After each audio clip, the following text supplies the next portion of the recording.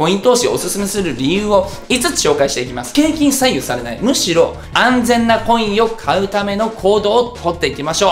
あざあざコイン投資のに早まんです。早まさん。はいはいニックどうした、はい。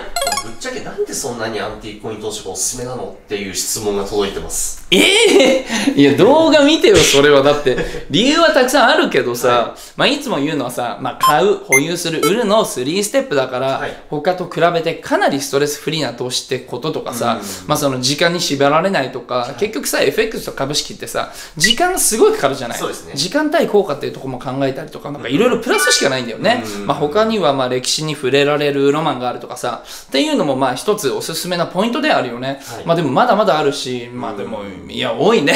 本当多すぎますよね、うん。海外のコインが有名ですけど、うん日本にも日本ならではのカフェがあって歴史があったりと結構奥深いですよねそうだよね。まあ、日本も飛鳥時代の不本線から考えると1300年以上の歴史があるから深いよね。うんまあ、ちなみに余談なんだけど、ニックは日本史で好きな人物とかいるの？ああ僕は幕末が結構好きなんでやっぱり坂本龍馬さんですからうん。もう龍馬伝見入っちゃいましたねうん、龍馬で言うと、明治維新150周年を記念して、まあ、龍馬、西郷隆盛、そして勝海舟がデザインされたコインっていうのがあるんだよね。うん。実はそれ、イギリス連邦のクック諸島から発行された銀貨で、外国から日本の偉人の銀貨が出てるっていうのは面白くない？えー、そんなのあったんですね、うん。いろんなコインがあってこれまた奥が深いですね。そうなのよ。豆知識的になるんだけどさ、はい。このコイン実は金貨じゃなくて銀貨で本当良かったって思うんだよね。えなんでですか？ね金貨じゃダメなんですか？まあ、皆さんも知ってると思うんですけど、実は勝海舟って犬に金玉を噛まれて、それ以降お金玉1個で生きてきたことで有名なんだよ。金貨を発行するってなると、絶対金玉のない俺の当てつけがガーって切れてたと思うんだよね。それはさすがにないですあない？いやそもそもそんな豆知識どこから知れてくるんですか？もう早く今日の本題に移ってください すいませんすいません。まあちょっと話がそれたんですけど、今回はコイン投資をおすすめする理由を5つ紹介していきます。コイン投資って最近聞くけど、投資としてはどんな点が魅力的なのか、いまいち分かっていないそうこのあなた、この動画を見れば、そのモヤモヤすべて解決します。今までよく知らなかったコインの魅力に気づいた時、ストレスフリーな資産形成が実現して、豊かな時間を過ごせるようになります。ぜひ一緒に勉強していきましょう今回はコイン投資のおすすめポイントを紹介しています。今回だけじゃ伝えきれないコイン投資の魅力やロマンなんかも別の動画ではたくさん話しているので、この動画を最後まで見て気になった方は、チャンネル登録をして他の動画もぜひ覗いてください。では早速、コイン投資のおすすめポイント5ついきますよまず1つ目のおすすめポイントは、完璧な匿名性があるです。確かに匿名性はアンティークコインの特徴ですけど完璧とは一体どういうことかちょっと説明をぜひお願いしますまあ、アンティークは物だからね、購入するときはまあ株式とかビットコインのような口座開設や、まあ、金投資のような身分証の提示、まあ、そして不動産のような登記とかっていうものを行う必要が全くない。んだから固定資産税はかからないので、これが強みです。確かに面倒くさい手続きはないですし買おうと思えば誰も気軽に買えるのは本当いいですよねそうなんです。続いて二つ目は、値下がりしにくいということです。アンティコインはもう2500年以前のものもありますので、コインそのものが希少で、もう増えることっていうのは一切ないんですね。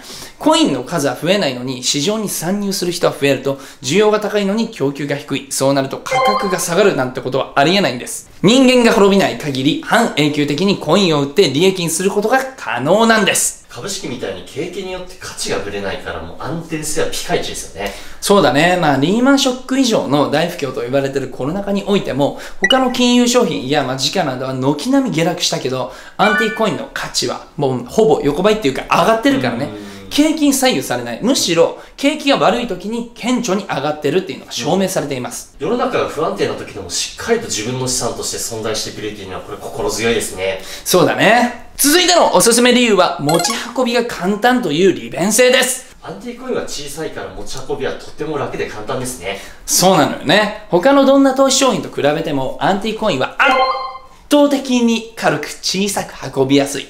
ここいいよね。まあ、引っ越しの時とか災害が起きて逃げる時でも持ち運びはね、非常に簡単。本当にお手軽です。何かあった時にいちいち不動産やクラシックは持ち運べないからね。お相撲さんがいない限りは無理です。お相撲さんでも家や車を持ち運ぶのはこれ難しいですよいや確かにコインは持ち運びも他はもう特別なことが必要ないから本当手軽ですよね。そうそうそう。不動産みたいな、まあ、契約と管理もないし、はい車みたいにさ、車庫もいらないじゃない、うんうんうんアンティークコインはポケットに入る1億円とも言われています。サイズは小さくても中身の可能性は無限大なんです。問題点は強いて言うなら紛失の可能性があるくらいですかね。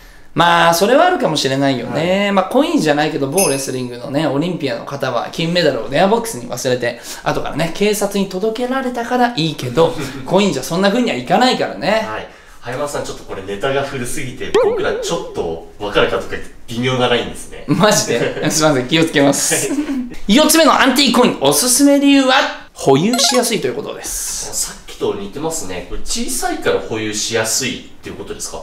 まあ、それももちろんそうなんだけど、はいアンティーコインは税金がかからないっていう意味での保有のしやすさもあるよね。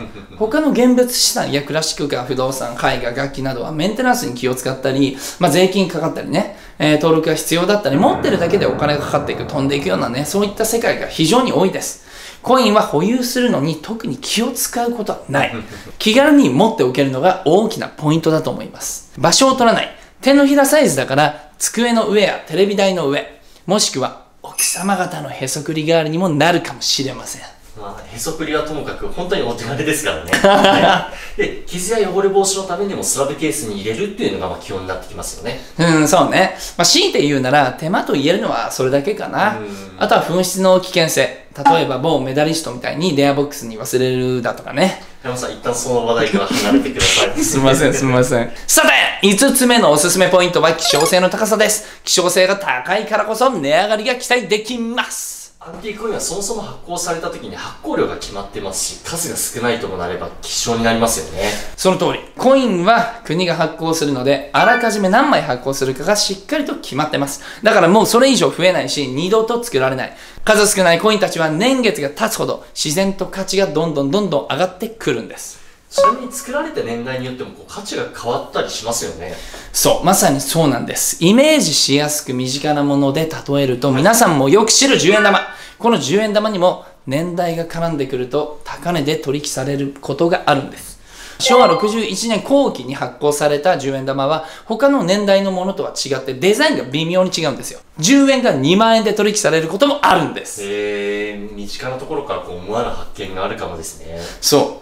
こんな風にアンティークコインは年月が経つにつれて歴史的な価値、そして希少性が高まっていく。そういうことによって価値が上がっていきます。そして年代によって価格が変わっていくと面白さも含まれてるんですね。うん、年月が経つにつれて順当に価値が上がるのは投資として本当これ魅力的ですよね。そうなんだよね。まあ、こんな投資は他にないよ。はい。ただ利点も大きいんだけど、実はコイン収集にも危険性があるんです。え、なんでですか？コインにはさ、どんなものでも偽物があるでしょ？はい。そうなると、そもそも価値がないから、利益はゼロ。この被害を受ける初心者の方は多いから、本当に気をつけてほしいですね。うん確かにこれだけはいつまで経ってもなくならないですよね。そうなんだよ。もう2500年以上前から偽物ってのはあるからさ、はいうん、コインの世界にはね、本当偽物を作る不届き者っていうのはもう昔から絶えず、絶えずずっといるわけじゃない。はいだから特に初心者の方は本当ね、簡単に本物と偽物の見分けはつかないですから、気をつけてほしいですうん。信頼できるオークションで購入したり、信頼できるプロのディーラーに購入を依頼するという対策を取っていきましょう。もし偽物か不安ですという人がいましたら、そのコインの写真を概要欄の LINE から送ってみてください。確実に安全なコインを買うための行動を取っていきましょう。今回は5つ紹介しましたが、アンティコインの魅力はコインのロマンやオークションの楽しみ、コインのグレードの話、もっともっとたくさんあって、今回だけでは伝えきれないんです。それがめちゃめちゃもどかしい。だけど、もしこの動画を見て興味を持っていただけたなら、僕のチャンネルでもいいですし、他にもいろんなところにも情報を集めに行ってください。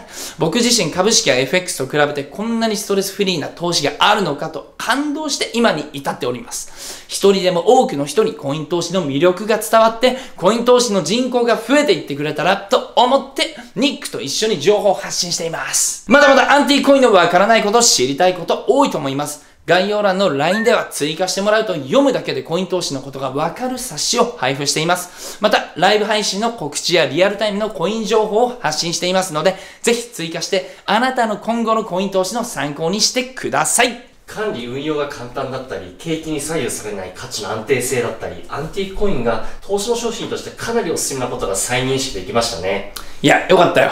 でもだからといって、むやみに手を出してね、失敗しないように、いろいろなところから勉強して、損しないための知識を身につけてください。皆さんが思うコインのおすすめポイントや好きなところ知りたいです。コメント欄に自由に書いてください。おやすみ